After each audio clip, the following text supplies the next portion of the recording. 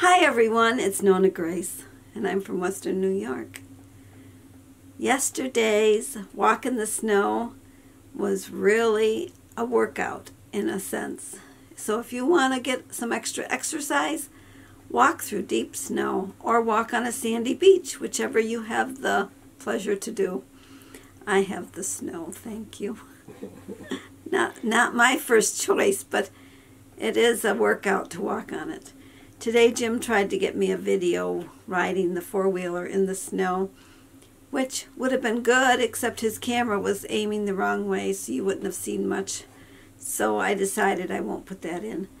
But I will put in a little video on what do you do with an eggs when you drop them. I'll put that in right here. I could tell you about this mess, but seeing as I think a little bit more like yuck. These eggs, I went to pull the carton to open it up to put the new eggs in, and this is what happened. It fell on the floor. How many did I lose? I lost four eggs. I will scoop these up, cook them, and give them back to the chickens. This is what I did with the eggs. I scrambled them up in the frying pan, and then I mix them with some of their grain and food that they're going to have tomorrow.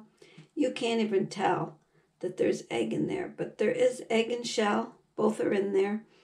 The chickens will enjoy it tomorrow. You saw what I did with those eggs. I put it in that little video. Isn't it funny how I had I had eight eggs I brought in and it would have made a full dozen and I went to move the carton and my sleeve on my sweater caught the carton and down it went. What a surprise and they all broke. And Jake never got any of it. He he didn't even notice. His he's going, I think, deaf, so he doesn't realize a lot of things are happening. If he was younger and heard the eggs crash, he would have been in the kitchen lickety split to lick it all up. Fried them up and put them in the food as you saw. I didn't show you the frying part. I didn't think of doing that.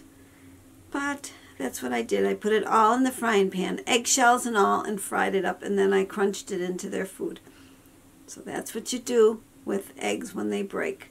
You just fry them up and feed them back to the animals. You could either give it to your dog or you can give it to your cats, but I'm going to give it back to the chickens.